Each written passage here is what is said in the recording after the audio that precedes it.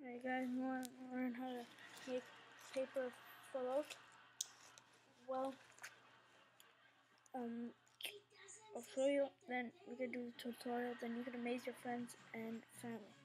So, you will take a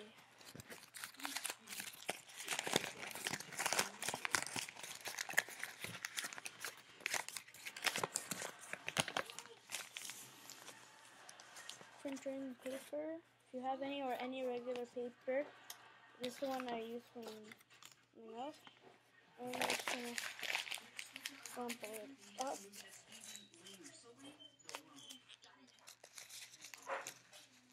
And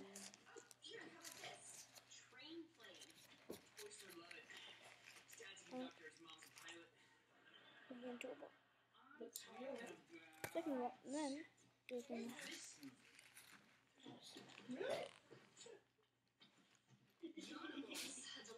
Didn't know that. so much it. Okay. Yeah.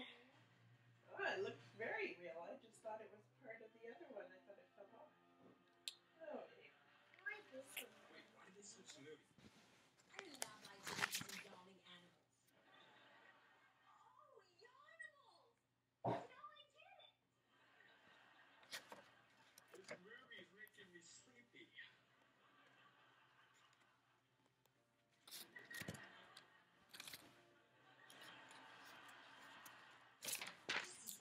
Okay, and so I'm gonna go for the tutorial. So if you already have your paper, so, and the trick is here to use.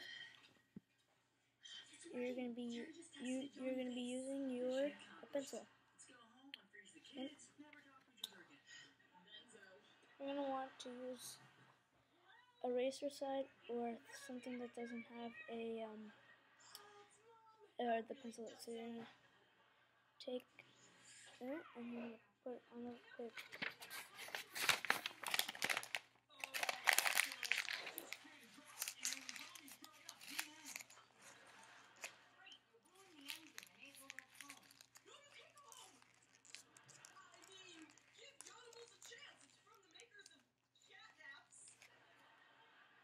And. And yeah, I'll place in the palm of your hand.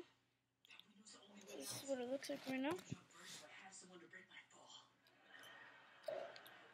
You have Spoil the movie for me. Open this drawer or I'll open it myself. Alright, here goes nothing. it on. It's working. It's working. Oh, I'm stuck. I'm stuck.